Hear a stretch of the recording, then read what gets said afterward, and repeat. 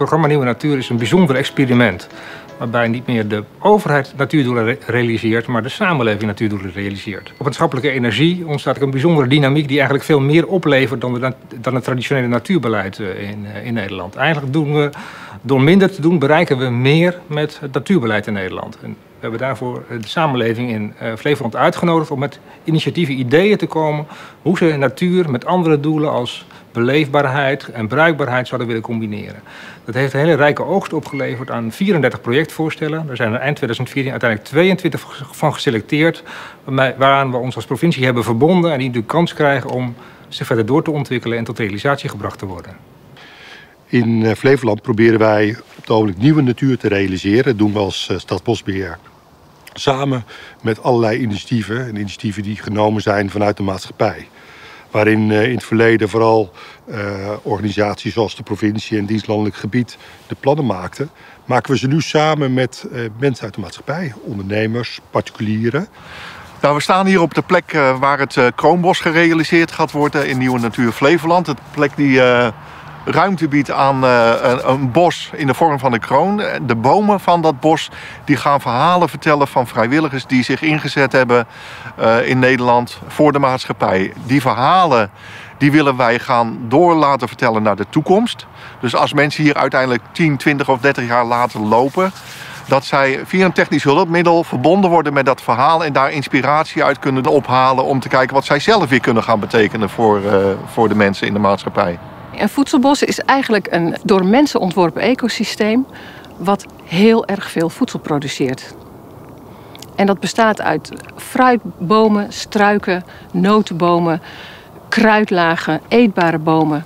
En het mooie daarvan is dat je, als je kijkt, deze akkers, daar zaaien we één keer, daar oogsten we één keer. In het voedselbos oogsten we tien maanden per jaar van aller eetbaars.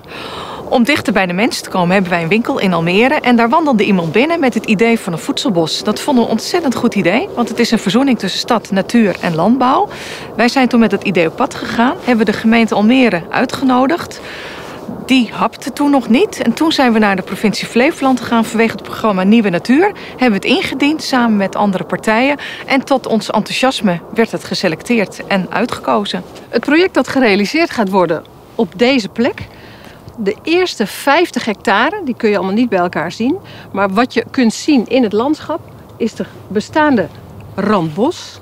Plus de nieuwe slinger die hier helemaal door het land aankomt lopen en daar weer verder verdwijnt het bos in. Als ik hier achter me kijk, hier bij het zaaltje van eh, de Zeevorst, hebben we grote overlegtafels.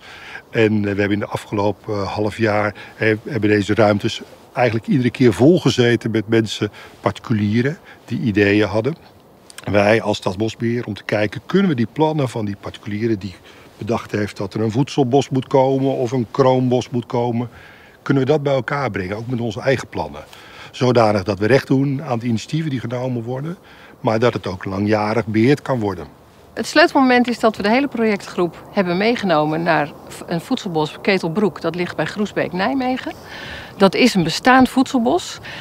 En dat bracht eigenlijk iedereen eindelijk het beeld van wat een voedselbos nou kan worden. En dat werkte veel makkelijker, want we zitten natuurlijk aan tafel met vijf partijen die hele andere talen spreken. En na dat bezoek aan Ketelbroek hadden we eindelijk het gevoel van iedereen begrijpt ongeveer waar we naartoe willen werken. En heel belangrijk dat het besluit is genomen om dat uh, integraal aan te pakken, dat hele project. De samenwerking die wij met Staatsbosbeheer hebben is dat wij de grond uh, toegewezen hebben gekregen. Die mogen wij gaan gebruiken. Uh, zij zorgen ook voor het uh, inrichting- en beheersplan. Maar de inrichting of het, vooral het beheer moeten wij zelf gaan verzorgen. We gaan dus de maatschappij benaderen, de markt benaderen. We gaan daar sponsoren voor zoeken om dit bos volledig in te kunnen richten. Hoe kun je die dingen nou bij elkaar brengen? Die, die, die mooie, verrijkende en inspirerende ideeën van mensen, maar die soms ook weer wat preciezer en kleinschaliger zijn dan wij gewend zijn. Hoe kun je dat nou combineren um, met het werk zoals wij het over het algemeen doen? En dat kijken we over een lange periode. Hoe kan het ook in stand blijven? Het proces Nieuwe Natuur is niet zo experimenteel dat we juist de samenleving de kans willen geven om initiatieven te ontwikkelen. Wij ondersteunen daarbij, waarbij wij als provincie ook vooral niet op de stoel van de initiatiefnemers willen gaan zitten, maar ze wil willen helpen om die projecten mogelijk te maken dat is heel lastig. Het zijn geen gebaarde paden, op inhoud van de projecten niet, maar ook qua rol en verantwoordelijkheden niet. En zo komen we ook, merken we ook dat we langzaam maar zeker in die uitvoering van die projecten toch wel nadrukkelijk ook nodig zijn om die projecten mogelijk te maken. Als het gaat om bijvoorbeeld het verkrijgen van gronden van het Rijksvastgoedbedrijf, maar ook om het komen tot afspraken over het beschikbaar krijgen van gronden binnen bijvoorbeeld de gebiedsontwikkeling als Oosterwold, heeft de provincie in die publiek-publieke verhoudingen gewoon een heel belangrijke rol te spelen om de, om de weg te effenen voor deze projecten.